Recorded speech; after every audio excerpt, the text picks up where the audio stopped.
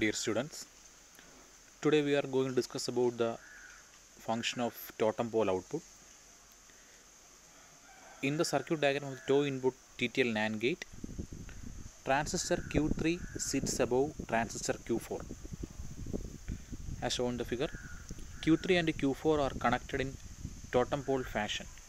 That is at any time only one of them will be conducting. Both cannot be on or off simultaneously. The diode D ensures this. If Q4 is on, its base is at 0.7 volt with respect to ground. Q4 gets base drive from Q2.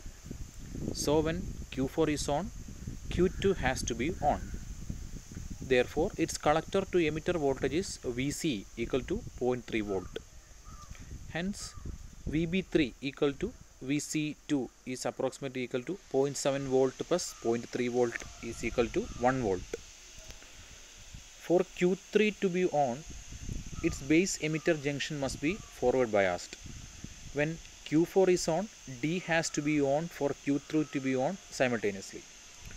So the base voltage of Q3 must be VB3 equal to VCE 4 plus VD plus VBE3 equal to 0.7 plus 0.3 plus 0.7 equal to 1.7 volt for it to be on.